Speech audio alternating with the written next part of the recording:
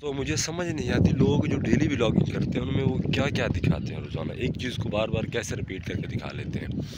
مثال کے طور پر میں نے ایک ولاگ بنایا تھا، جس کے اوپر میرے ویوز ہی کچھ زیادہ نہیں آئی یہی کچھ چالیس پچاس ہے۔ میں نے دکھایا کہ یہ میرا کمرہ ہے اور یہ میرا طوطا ہے، میں اس کو جناب خوراک ڈال رہا ہوں۔ وہ اس طرح کا میں کر کے میں نے کوئی ویڈیو بنائی۔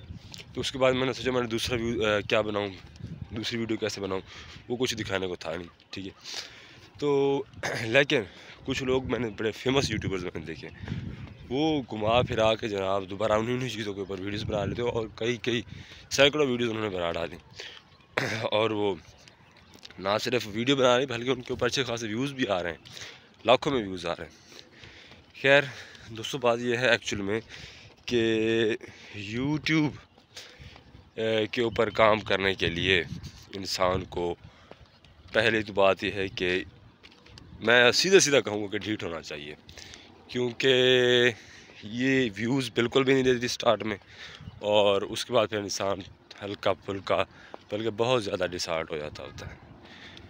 جبکہ دوسری جو چیزیں ہیں، دوسری جو ایپس ہیں سوشل میڈیا کی، وہ سٹارٹ میں ہی انسان کو تھوڑا سا گروم کر دیتی ہیں، جس سے انسان کو موٹیویشن مل جاتی ہے۔ ٹھیک ہے؟ تو اس وقت صبح کا ٹائم ہے، میں واک پہ نکلا ہوں، اور یہ آپ دیکھ سکتے ہیں۔ جو سورج طلوع ہو رہا ہے اس وقت